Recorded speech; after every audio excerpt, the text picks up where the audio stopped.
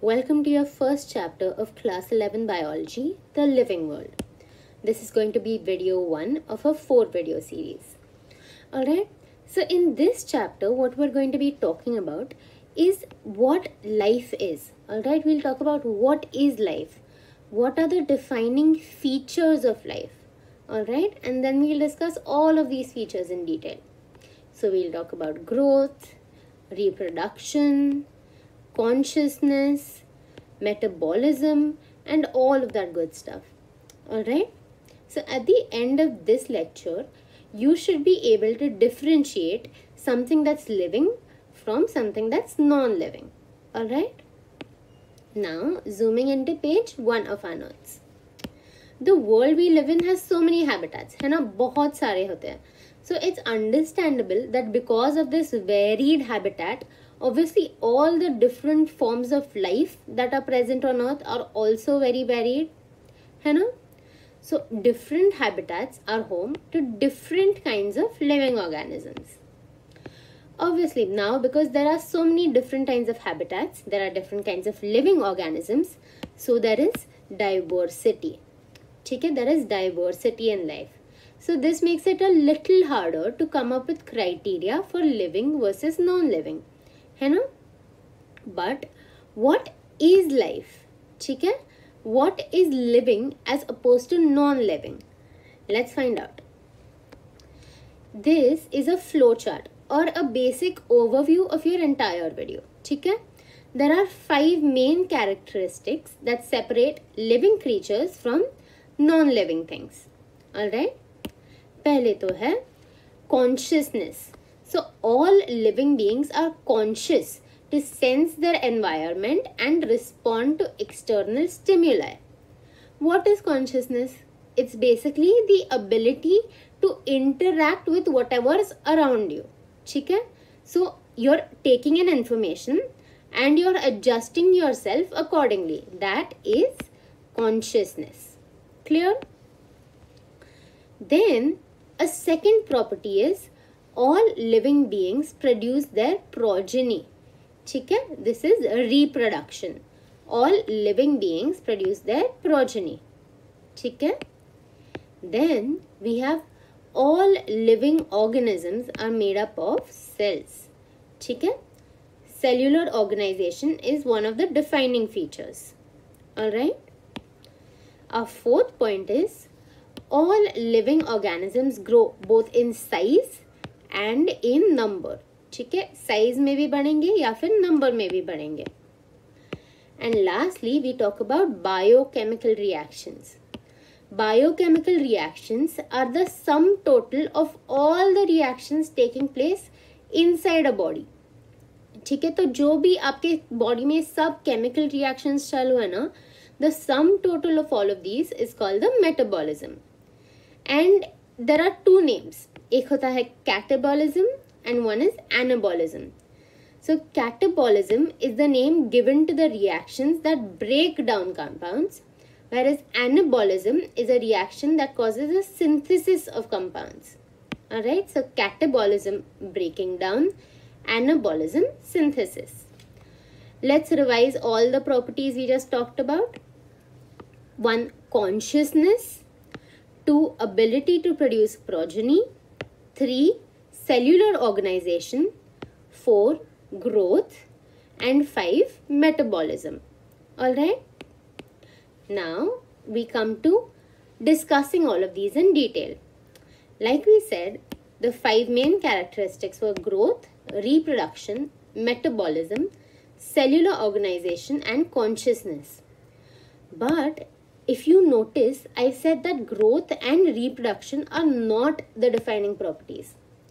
What does this mean? In order to understand that, we need to understand what a defining property is.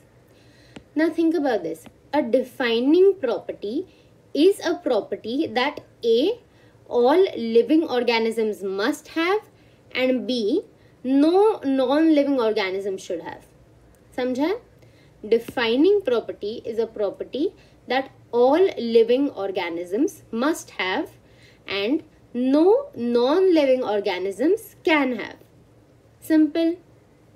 Alright, so growth and reproduction are not defining but metabolism cellular organization and consciousness are defining chicken now when we come to growth growth is an increase in the mass or the overall size of a tissue or organism chicken increase in the mass or overall size but दो types के होता है intrinsic growth and extrinsic growth. Intrinsic growth is growth inside the body of a living organism. Extrinsic growth is growth from the outside, that is, accumulation of material from outside on the body surface. Now, why do I say that growth is not a defining property? Think of a mountain. A mountain is definitely a non living thing, है ना? Mountain पे बाहर से if soil keeps accumulating keeps accumulating keeps accumulating then that is an example of extrinsic growth because this mountain is increasing in size via extrinsic accumulation है ना so you cannot say that growth is a defining characteristic because non-living things also exhibit growth ठीक है समझा why growth isn't defining because non-living things also exhibit growth. Alright. Now, we talk about this in detail. In a majority of the higher plants and animals, growth and reproduction are mutually exclusive.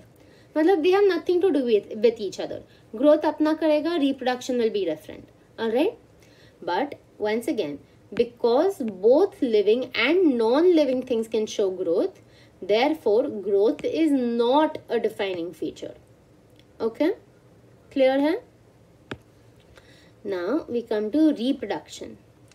Reproduction is the produ production of progeny possessing features more or less similar to the parents. Okay?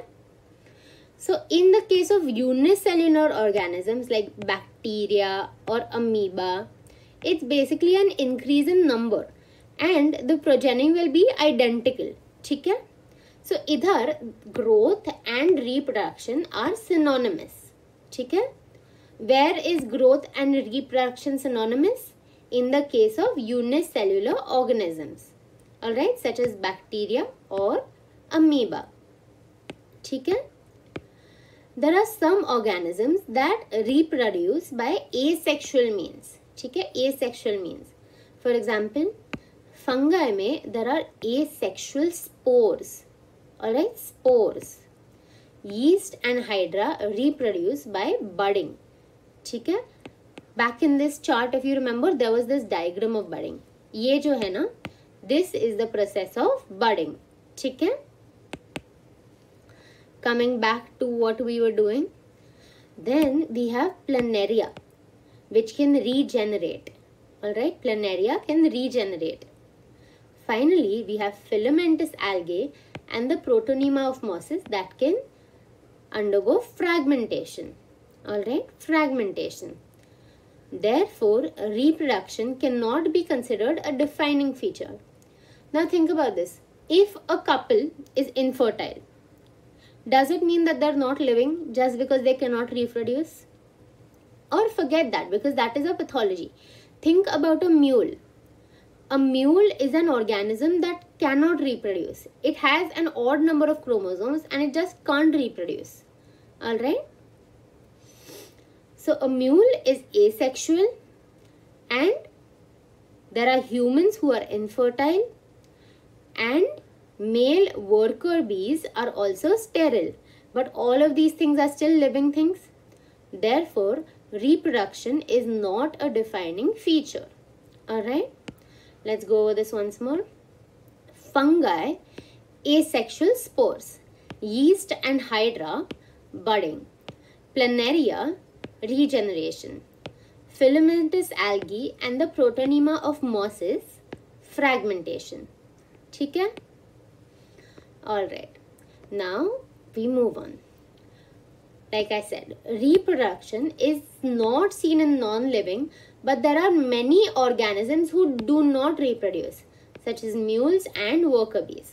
इसलिए it's not a defining feature ठीक है clear है now we come to metabolism it is the sum total of all the reactions occurring in a living body सब जो chemical reactions हो रहे हैं वो सब मिलके they make up your metabolism ठीक है and this is a defining feature because no non living object shows metabolism but metabolism is exhibited by all living objects whether they be unicellular or multicellular ठीक है इसलिए metabolism is a defining characteristics ठीक है? Then we come to cellular organization a cell is a basic unit of life ठीक है? It is the fundamental structure and all living organisms are compose of cells whether they be one cell जैसे कि unicellular organisms और many cells like in multicellular organisms cell तो है ना? So cellular organization is a defining property. It will be present in all living things and not present in a single non-living thing. Okay? Alright. Now, we come to consciousness, which is probably the most complicated or advanced feature of all living organisms. Okay? It is the ability to sense the surrounding environment and respond to these environmental stimuli. ठीक है? तो बाहर से you are sensing you are aware of what is happening around you and you are realigning yourself in order to respond to the stimuli ठीक है? This is consciousness ठीक है? Now in the case of humans we have sense organs like our eyes our ears our nose plants also respond to external factors like light and water ठीक है? but आप बोलोगे where do bacteria have consciousness actually they do how do you think bacteria develop antibiotic resistance that is because of their consciousness they are able to respond to their environment and come up with their own defenses right so that is a defining property of life that is consciousness. All organisms show consciousness but the feature of self-consciousness मतलब being aware of yourself is seen only in human beings. Or at least this is what your NCERT says. But if you actually look it up, many land mammals, especially primates, also exhibit self-consciousness. Alright? Now, let's have an example. If there is a brain dead coma patient, ठीक है बहुत सारी machines पे for life support They have a consciousness, ठीक है They have a consciousness, but they have lost self consciousness. फर्क समझा They have a consciousness but have lost self consciousness. ठीक है Hence, consciousness is also taken as a defining property. Simple enough? Alright. So, as a summary, we conclude that living organisms are self-replicating, evolving and self-regulating interactive systems capable of responding to external stimuli. Okay? Now, all living organisms have evolved by a very long process of evolution so they're all related to each other ठीक है we all share common genetic material but अलग अलग degrees पे for example we have more in common with apes than we do with for example onions ठीक है so that does not mean onion का DNA और हमारा DNA अलग है that just means that we have more in common with apes onions and us still have some common DNA but there isn't as much overlap ठीक है I hope every one understood this video on to the next video